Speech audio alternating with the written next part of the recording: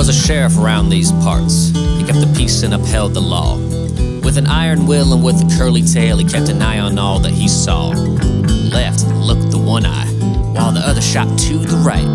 With big bug eyes, it meant he had 360 degrees of sight. Now, one wrong step would flip the switch from a good old boy to a son of a bitch. And when Country Pug is on patrol, alley cats, you best roll. Your flying eyes. No squirrel would dare to cross the pug, for they'd meet their demise. With Lucy by his side, to the golf cart they must ride. Just another perfect day for a country pug.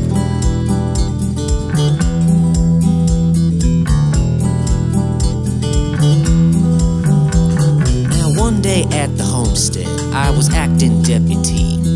Had my BB gun in the one hand and in the other a quarantini. My job was nice and simple, just gotta keep an eye out for the bird feeder. And sure enough, it was just my luck, something was approaching nearer.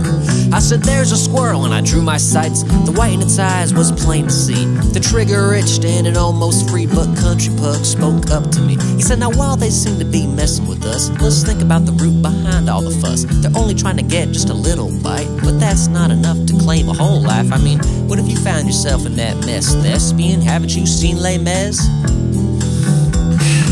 Yes, I says I've seen Les Mis, but there's still something that don't quite sit. Those squirrels are hungry not for more than a snack. They're scaring the birds off to never come back. Those squirrels are bullies, so wouldn't it be fair to only shoot them with the BB once in the tail? In Country Pug's wise demeanor, the words he spoke could not be clearer. In all his years and experience, the words hung in the air like the morning mist. He said, Yeah, you can shoot him in the tail, that's fine. That's actually what I was gonna suggest. Just trying to scare him is all. With the authority of the country pug, we brought the copper hammer down. The squirrels, they turned their furry hides and hightailed it out of town. Steely aviators, conceal your flying eyes. No squirrel would dare to cross the pug, for they meet their demise. With Lucy by his side, to the golf cart they must ride. Just another perfect day.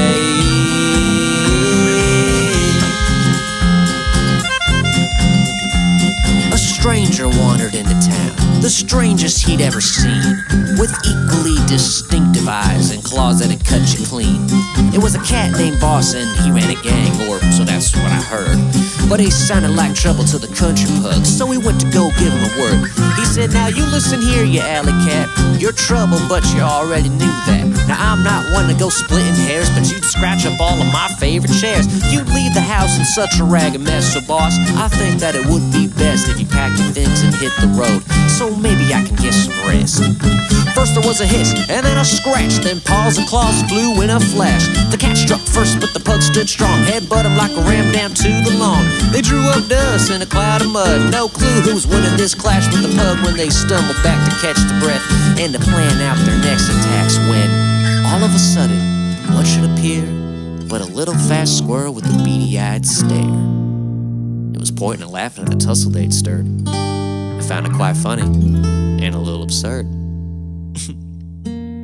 well, they looked at each other, didn't even need to say a word. Both country pug and alley cat sent that squirrel right up a tree. They soon discovered that they had more in common than it seemed. They both liked napping out in the sun. They shared the toys and had some good fun. Two best friends they had become from cold-blooded enemies. Cause today they chose peace, yeah. Steal the aviators, conceal your flying eyes. No squirrel would dare to cross the pub, for they meet their demise.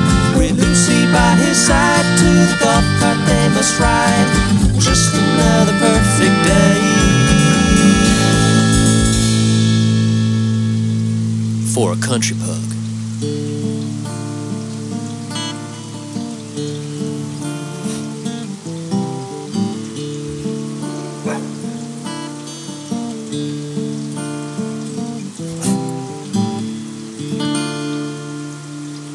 Bye.